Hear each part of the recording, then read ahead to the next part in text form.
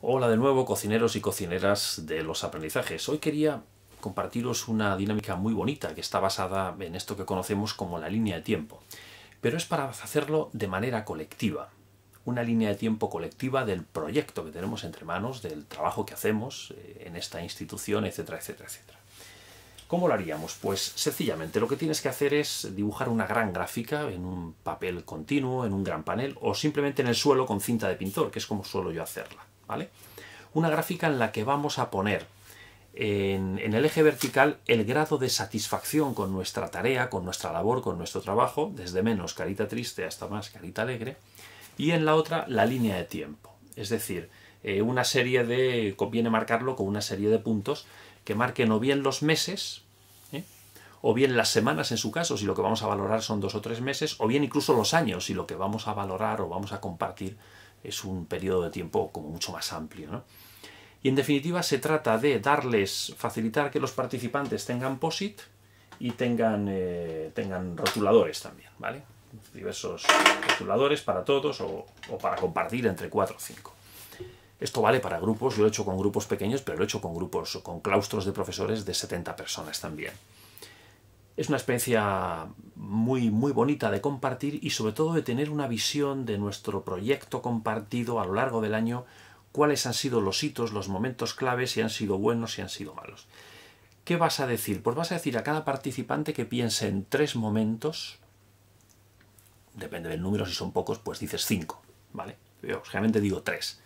Tres momentos, hitos o experiencias que han sido claves en su en su experiencia a lo largo, en su recorrido a lo largo de este proyecto, en su carrera profesional, si estamos valorando un poco nuestra profesión en una institución determinada, etcétera, etcétera. Tres momentos que para él han sido, han sido claves, han marcado puntos de inflexión, que pueden ser positivos, que pueden ser de máxima satisfacción, pero que también hayan podido ser eh, tropezones importantes, bajones. ¿vale? Y luego sería interesante ver cómo hemos podido salir de eso. Entonces, bueno, pues cada cual pone en un POSIT eh, ese nombre o esa experiencia que la titule, que la titule con, dos, tres palabras. Con dos, tres palabras. Pues el día que me. El día que me dieron una sorpresa a mis alumnos, por ejemplo. El día que me hicieron una fiesta a mis compañeros. Em, el día que fracasé porque no hice bien tal cosa o se quejó no sé quién y entonces me, me bueno, en fin, bueno, vosotros sabéis mejor un poco ahí lo que, lo que pueden dar de sí. Los participantes, por supuesto, que luego lo hacen fenomenal. Y entonces van pegando los POSIT, cada cual valora el grado de satisfacción, depende de la experiencia, ¿eh? y lo sitúa en uno de los meses o en uno de los años. Pues si es, yo tuve una experiencia de muy poca satisfacción en mayo, pues pondría un POSIT aquí, pero si luego tuve una en septiembre de muy buena satisfacción, pondría otro aquí. Y de esta manera vamos a tener un mapa con un montón de puntos, ¿eh?